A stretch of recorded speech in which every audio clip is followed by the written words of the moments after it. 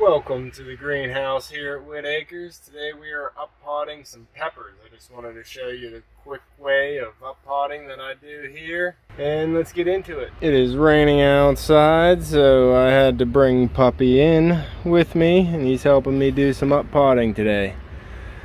So what I have here, I already got started. I tray, 72 cell tray of peppers, sweet banana peppers, some bell Cali bell peppers here. And I already got the jalapenos potted up. And then I have some 12 more mixed bell peppers to do yet. So what I do is I get my potting soil in a bucket. Go ahead, pre-moisten that so it's nice and clumpy. Squeeze it. You might get one or two drips out of it, but it breaks apart nice and easy. So get that ready in a bucket. Then take my plastic cups, poke some holes in the bottom. I fill it up. I make a nice little divot in the center. Pack it in. Make a nice little hole in the center.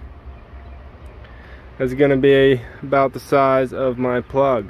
Now you can see I just dropped the plug straight in and it's settled. Now this one is a double. You can see it's two seeds germinated there so what I'm going to do with one hand here is gently pluck that one off. I'll put that in and then also that one's dead so forget about that one. I'm just going to go ahead and pot this one up. So you just press down the cell, backfill the edges here, pat it down nice and tight. There you go, your pepper's up potted. One more thing, while these things are getting tall, it's got about six, it's working on seven leaves. What I'll do here is come in with my snips. You can see this tall one, couple sets of leaves. I'm gonna come in here with my snips and go ahead and top that right off of there.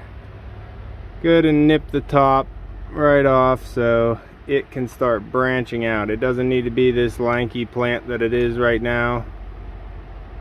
Trying to do this one hand, it's a little hard. There you go. Go ahead and cut that top right off.